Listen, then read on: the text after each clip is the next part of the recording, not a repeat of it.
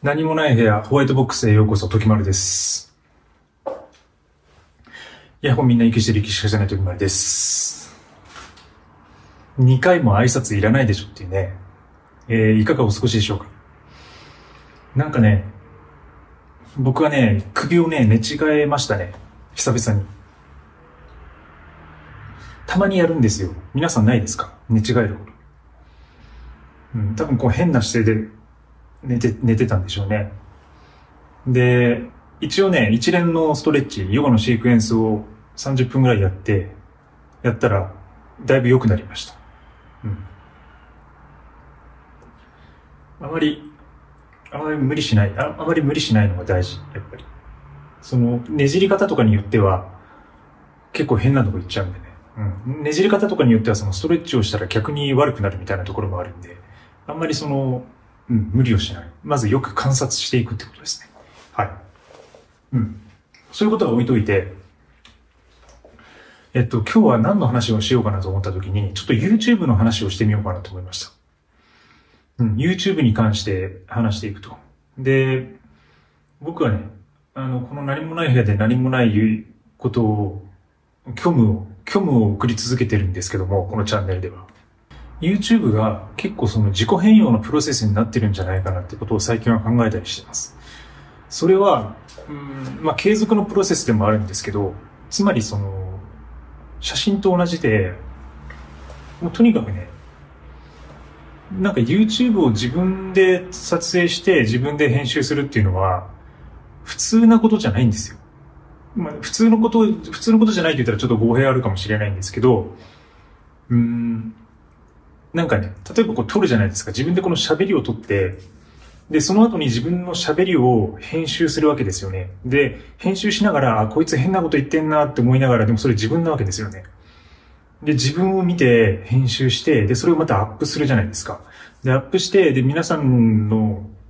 こう、目に届くときには、もう一回自分も、たまにその、まあ、最近あんま見ないですけど、よくその、自分のオンエアを、だから自分で見るっていうか、だからね、2回出会ってるんですよ。2回出会うことになるんですよ。この醜い、醜い顔っていうか、あの、おっさん、なんかキモいおっさんですよ。キモいおっさんの語りをね、が、2回出てくるんですよね。で、それが自分なわけですよ。で、これってこういう状況って今までなかったなと思って、自分に出会うっていうのは、鏡を見るときぐらいじゃないですか、基本的に。鏡を見て、あ、自分が、自分ってこういう人なんだなって、こういう顔なんだなみたいなものを認識する、して、すると思うんですよね。で、あの、動物とかって鏡にもびっくりするじゃないですか。鏡にその自分の姿が映った時にうわってなって、だからその自然界にやっぱ鏡的なものっていうのがあまりないから、本来はその動物っていうのは自分の姿を見ることに慣れていないと思うんですよ。うん。でもね、YouTube はそれをしつこく行うことになるってことなんですよね。うん、それが自分の中にこれまでなかったことのまず第一。で、それで思い当たることっていうのは、写真ですね。写真も同じようなプロセスをたどるんですよね。それは、あの、自分のセルフポートレートを撮ったらそれはもちろん自分が出てくるんですけども、写真っていうのは基本的に自分は出ないですよね。こう構えるから、その自分が撮る被写体とか自分が撮るものとか見たものとかが出てくるわけですけど、それも結局は、見て、まずその見た場所でこうカメラを構えて撮った時がまず一回、一回その被写体と出会うタイミング。で、二回目はそれをね PC に入れて、PC に取り込んで編集とかするときに自分の画面でその被写体を見る。で、現像をするね。行為。それがまず2回目ですね。2回その被写体に出会う。で、3回目っていうのは多分それをもしかして人によって違うと思うんですけど、アウトプットの方法は違うと思うんですけどね。その、プリントする人もいれば、それを写真展にして、どっかのギャラリーに飾る人もいれば、あるいは、それをどっかの SNS に投稿する人もいれば、でもとにかくなんかその、編集した後にはアウトプットっていうプロセスがあるわけで、そのアウトプットのプロセスの時にもう一回自分の写真と出会うわけですよ。だから3回出会うんですよね。3回出会うってよく言われてます。うん。僕がそのフィルムやってた時に、あの、暗室で現像してた時なんかは、もっとその出会う回数が多いっていうふうに言われてましたね。それは、その、まず現像してネガの状態になって、で、そのネガを自分でこう、ルーペとかで見て、コンタクト、コンタクトを選んで、コンタクトシートの中から選んで、で、それを、えー、実際にネガキャリアに挟んで、で、レンズを通して見ると。で、そこで、もうまた2回ぐらいだから出会ってるわけですよね。で、実際そこで現像して、プリントに浮かび上がってくる姿を見るときにもう、すでに3回ぐらい出会うと。で、暗室から出て明るいとこでもう一回見て自分の写真ともう一回出会うと。だからその、プロセスを減れば減るほどっていうか、プロセスを重ねれば重ねるほど自分の写真と出会う回数が多くなってくる。で、フィルムの時はそれが多かったんですよ。で、デジタルになって少し少なくなったと。まあ、そう、少なくなったと言っても、でも最低3回は自分のその写真とか被写体と出会うことになるっていうことです。だからその何を言ってるかちょっとわかんないと思うんですけど、うん、だから YouTube も本当にその写真と同じように撮って、で、編集して、で、アップしてみたいな感じで、自分のそのね、声とか喋りとか顔とかをひたすら見ることになると。うん。まあ、あの、そのアウトプットに関しては、もう上げたら見ないっていう人が多分結構多いと思うんですよ。で、僕もね、そんなにその全てを見るわけじゃなくて、なんか、たまにそのやっぱ時差でね、時差で上がってくるんで、あれ、こういう時どういうのを撮ったんだろうなとか、どういうのを喋ったんだろうなっていうのを、自分で確認したりしますね。うん。だから結構何度もその自分に出会うわけですけど、だからその自分についてものすごくその考えるっていうか、で、それによって、じゃあどういうふうな、あの、話し方をしたらもっと伝わりやすいんだろうかとか、皆さんにもっと楽しんでもらえるんだろうかみたいなことを考えたりとか、うん、っていう、なんかそういう、その自分がこの変わっていくっていうか、どんどん取り続けることによって、そのなんか変わっていくプロセスっていうのがそこにあるんだっていうのを最近は発見しています。はい。うん。なんとなくそういうあの話をしてる YouTuber も今までいましたけど、自分で実際にこうやって、あの、ミニマルチャンネル、ミニマルチャンネルって、ミニマルチャンネルなのかわかんないけど、この何もない部屋で喋るっていうことをやり始めて、なんかそういうのがね、あの、実感としてわかるようになってきましたね、最近ね。で、もう一つは、その継続性と関わってくるっていうところがあって、で、これはね、あの、自分の中のルーティーンとか自分の中の生活に、あの、YouTube が組み込まれていくってことなんですよ。で、えっと、多分、僕その YouTube もしやってなかったら、この、この部屋っていうのが、こんなに何もない状態を保てなかったかもしれないっていう思うことがふとあるんですよね。うん。もちろんそのエクストリームミニマリストで何もない生活をしてるんですけども、今ね、実際に本が本がむちゃくちゃ増えてます。あの、こちら側にあるんですけど、本がね、何冊ある？教えて教えて本。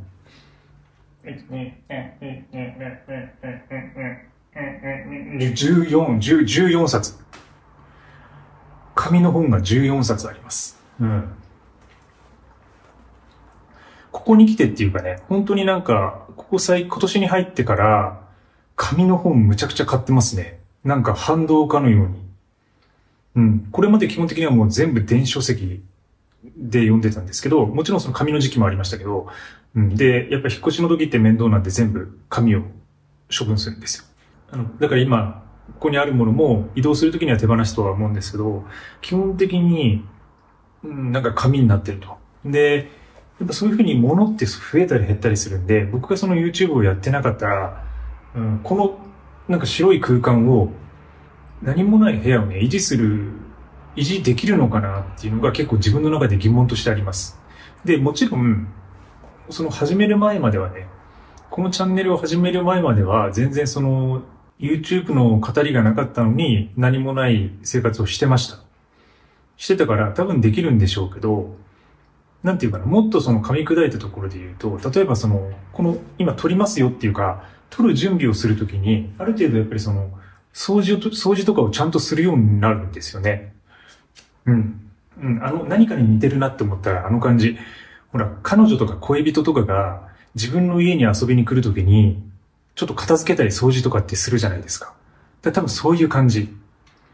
うん。で、だからそれがないとさ、だから恋人とかがいないとどんどん部屋ってこう荒れてったりするじゃないですか。でもなんかその来客とかね、お客さんが来ますみたいな、週1回お客さんが来ますみたいになると、必ずその来る前って掃除しますよね。その感覚に近い。だから YouTube で僕が撮りますよってなった時に、あの、と、やっぱ掃除するんですよね。もちろん掃除は大体ある程度毎日ちゃちゃっとはやるんですけど、なんかその、さあ撮るぞってなったら、なんかそ、そこにその自分が掃除をちゃんとするっていう自分の行動が一緒にセットとして組み込まれてるんですよ。うん。だから、あの、単純にね、その、なんか動画を撮って話す、喋るとか、その YouTube で自分の作品を作るみたいなことっていうのは、うん、ただその作品を撮って、その作品が仕上がるだけではなくて、その自分の生活とかライフスタイルそのものが変容する可能性がある、うん、変わっていく可能性があるっていうことです。を考えてるってことです、最近は。うん、ちょっとあの、このタイトルに、この、この動画にどういうタイトルをつけよう、つけようかっていうのはまだ決まってないんですけど、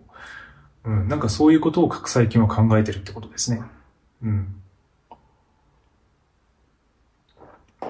あと、僕はそのエクストリームミニマリストなんで、実際ね、あの、リアルな、リアルなエクストリームミニマリストだと自分でもちょっとは思ってます。エクストリームまでは本当はいけてないですね。うん、エクストリームっていうのは本当に、本当に何もない人なんですけど、僕は結構ね、いろいろさっき言ったように本とか、うん、全然あるんで、この家もそもそもあるんで、うん。エクストリームミニマリストは家ないんでね、あの、本当に Airb とかで暮らしてるんで、僕はその尊敬するね、アメリカのエクストリームミニマリストの方も、うん、自分の多分家は賃貸では持ってなかったんじゃないかな。うん、Airb とか、あと居候とかしてね、うん、ずっとその、点々と暮らしていくっていうのが、うん、エクストリームの人たちの真骨頂だと思うんで、うん。でもその何もないから、何もないからその、動画を作るっていうか、何もないからこうやって、なんか皆さんにお話ができるっていうか、そういうところはあると思うんですよ。うん。何もないことが、その、動画を撮るような原動力になっているってところはある。うん。だってさ、もしこの部屋にそのランニングマシーンとかトレッドミルとかね、あの、こういう自転車のなんかトレーニングマシンとかあったら、そっちやるでしょ。うん。で、あとゲームとかあったらゲームも多分やるし、で、やっぱ音楽もこれまでやってたんで、あの、ギターとかね、楽器とか、ピアノとかあったらもうそっち、むちゃくちゃやりたいし。でもね、何もないんですよ。何もないようにしてると、もう喋るしかない。これは自分でもびっくりしてる。むし、むしろね、今もね、今も口下手ですよ。僕全然その喋り下手ですし。うん、だから今、これまでその喋ってこなかった。うん。だから喋ってこなかったから、喋るのがそんなに嫌だから、その営業とか接客業も絶対やんなかったし、で、写真やってたってとこはあるんですよね。うん。写真ってまあ、実際はその営業的な側面とかもめちゃくちゃあって、だからその人とコミュニケーションを取るってことが大事ではあるんですけど、でも実質やってることって言えばそのカメラの、まあ、カメラの後ろでシャッターを押すだけなんで、極端な話、何も喋んなくても写真は撮れるんですよね。うん。でもね、そういうね、そういう、だからなんか喋ることから避けてきた自分が、こんなに喋ってるっていうのが、ちょっとね、自分でもちょっと、なんか不思議だなと思うんですよ。うん。それはね、ネスカフェのせいが、せいであるかもしれない。ネスカフェが僕に喋らせてるっていうこともあるし、うん。僕がその何もないからもうやることが何もなくなってね。うん。ただ時間があってね。で、それで何やるか、やるかって言った時にもう喋るしかない。この何もない部屋、部屋に皆さんをお招きして、ここで私のこうチャンネルをこう運営していくことしか自分にできることはないってことです。うん、だから自分にできることをやってるって感じはある。本当に。自分にできること。自分にできることはヨヨガと、ヨガと YouTube ぐらいしかない。多分。うん、もう、なんか、やりたくない、何も。うん。やりたくないんですよ、何もね。何もやらない状態にしておくっていうか、まあ、何もない時間を作っておくっていうか。でもね、暖かくなってきたから、あの、そろそろ旅に出ます。はい。多分この動画が上がる頃にはもしかしたら僕は違う場所にいるかもしれないです。うん。あの、近々計画があるんで、うん、ちょっとその様子もね、もし撮影できたら、うん、撮ろうと思います。皆さんにもまたご紹介したいと思いますんで、お楽しみに。今日ちょっといろいろ散漫になりました。タイトル何にするか決めてないですけど、うん、ちょっと YouTube について思うことについて語ってきました。はい。えー、そんな感じです。また次の動画でお会いしましょう。良い一日を。